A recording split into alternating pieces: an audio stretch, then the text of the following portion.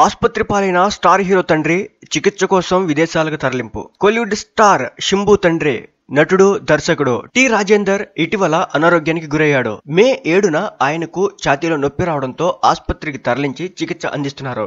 అయితే ఈ విషయాన్ని గోప్యంగా ఉంచారు. తాజాగా ఈ విషయం బయటకు రావడంతో ఆయనపై తమిళ మీడియాలో పలు వార్తలు వచ్చాయి. దీంతో శంభు తన తండ్రి ఆరోగ్యంపై క్లారిటీ ఇస్తూ సోషల్ మీడియా ద్వారా ఓ లేఖను రిలీజ్ చేశాడు. ఈ లేఖలో మా తండ్రికి ఛాతీలో నొప్పి రావడంతో ప్రైవేట్ ఆసుపత్రిలో చేర్పించి చికిత్స అందించాం.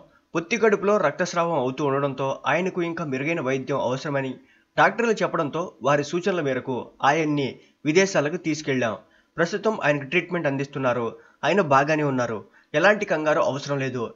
ట్రీట్మెంట్ పూర్తవగానే తిరిగి వస్తాం. మీ ప్రేమాభిమానాలకు కృతజ్ఞతలు అని చెప్పేసి షింబు ఒక లెటర్ని అయితే రిలీజ్ చేశాడు.